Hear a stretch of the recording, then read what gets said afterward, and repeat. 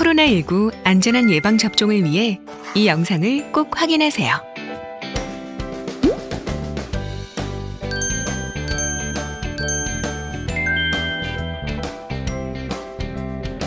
안전한 예방 접종을 위해 코로나19 예방접종.kr에 접속하여 궁금한 정보를 확인합니다. 예방접종은 건강한 상태에서 맞는 것이 중요합니다. 예방접종 전 체온이 37.5도 이상일 경우 접종을 연기하시고 예진 시 평소 앓고 있는 질환이나 증상이 있으면 의사와 상담해 주세요. 예방 접종 후에는 접종 기관에서 15분에서 30분간 머물러 이상 반응이 나타나는지 관찰합니다. 귀가 후에는 3시간 이상 안정을 취하며 주의 깊게 관찰하고 3일간 특별한 증상이 나타나는지 관심을 기울여 주세요.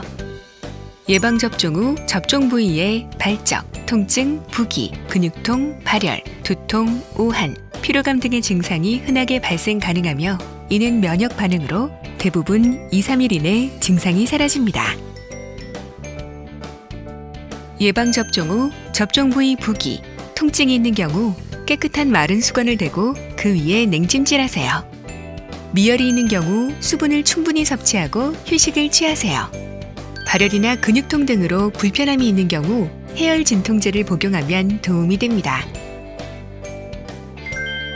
발열, 몸살, 두통 등의 증상이 2일 이상 지속되는 경우와 해열 진통제를 복용해도 증상이 호전되지 않거나 악화되는 경우에 의사의 진료가 필요합니다.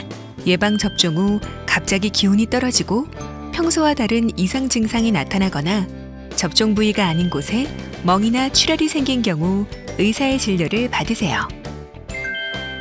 예방접종 후 숨쉬기 곤란하거나 심하게 어지러운 경우와 입술, 얼굴이 붓거나 온몸에 심한 두드러기 증상이 나타나는 경우, 갑자기 의식이 없거나 쓰러진 경우에는 119에 신고하거나 응급실을 방문하세요. 예방접종 도우미 누리집을 통해 예방접종 후 이상 반응을 체크하고 대응 방법을 안내받을 수 있습니다. 우리 함께 일상으로 코로나19 예방접종 안전하고 신속하게 진행하겠습니다.